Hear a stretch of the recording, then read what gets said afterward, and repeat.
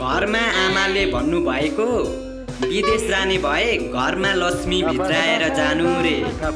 अब घरमा लक्ष्मी भित्राइसकेपछि विदेश चाहिँ महादेव खोज्न जानु म। कहिले काहीँ नुहाइ धुवाइ गरेर यसो एउटा च्वाक फोटो फेसबुकमा हालौँ कि भनेर सोध्छु। फेरि अर्को मनले सोध्छु हे अरूको घरबार बेकारमा किन बिगार्नु?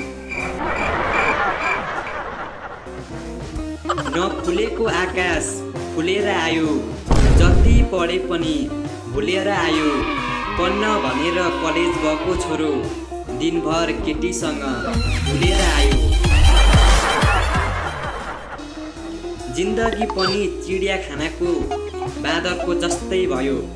जो पनि आउँछ जिस्काएर मात्र जान्छन्।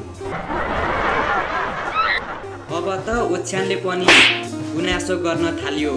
मालिक साहेब एकछिन उठिदिनु भयो भने म सास फेर्ने थिएँ भनेर।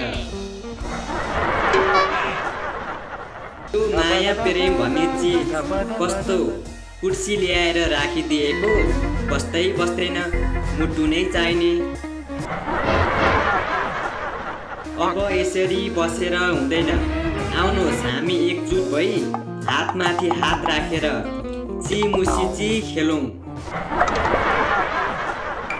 यो संसारमा कसको विश्वास गर्नु खै कपाल नै नहुनेले पनि बालै फरर भन्दै हिँड्छन्। सिङ्गल पनि यति भयो कि मुटुमा पनि माकुराले जालो लगाउन लागिसक्यो।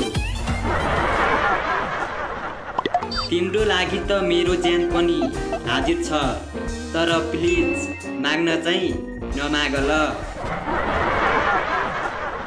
पिकनिक त जान हुन्थ्यो नि।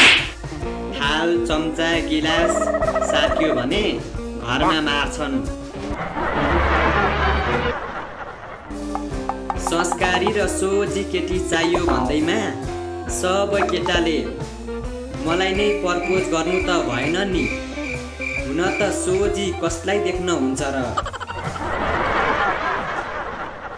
स्ट्याटस राख्न पनि प्रब्लम नै छ। एकजनाको लागि राखेको हुन्छु। अनि फिल अरू कसैले गर्छन्।